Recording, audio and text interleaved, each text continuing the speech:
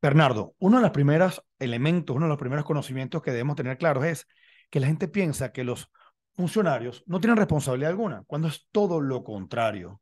La tienen toda, de hecho no son intocables. Ellos son absolutamente responsables de sus actos de forma personal, individual y ciudadana.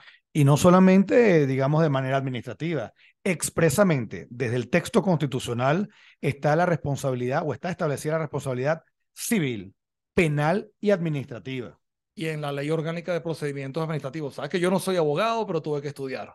No, pero es que además la vivencia tuya del día a día con el, el, trajín de las, las quejas que te, que, de que te llegan, etcétera, uno de los elementos comunes es ese. Las personas desconocen que los funcionarios tienen responsabilidad. Y es por ello, y lo vamos a tomar más adelante en cuenta, que cuando se haga cualquier inspección, el funcionario debe estar plenamente identificado, no solamente para amedrentar o llevar la, la, actuación, sino para responder de las actuaciones que haga. Si un funcionario llega y no se identifica, ya es sospechoso. Yo creo que eso es suficiente razón para que no prospere esa actuación. Recuerdo uno de los de las anécdotas de mi papá, una vez en una actuación decía, llega, bueno, ¿y quién es usted? Eso los funcionarios se tapaban el nombre. Ojo, eso también es extensible esos vehículos sin identificación. Las placas. Las placas. Entonces, importante, tener en cuenta, uno, los funcionarios son servidores públicos y me gustaría que hablaras de eso porque la gente se olvida de eso. Ellos están ahí para servirnos a nosotros. Bueno, porque tienen años llevándonos a eso de, hacernos creer que ellos mandan sobre nosotros como si fueran jefes nuestros,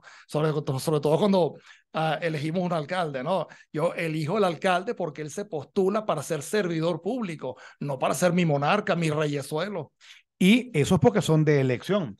Pero a su vez, esos que son designados por estas autoridades son para que hagan ese trabajo de servirle a la población. Así es, no al revés. Mira, y es interesante porque vamos a poner a disposición de todas las personas que vean este, estos videos, no solamente el texto íntegro de estas leyes que vamos a estar hablando, sino también, digamos, las secciones pertinentes particulares de cada uno de esos casos.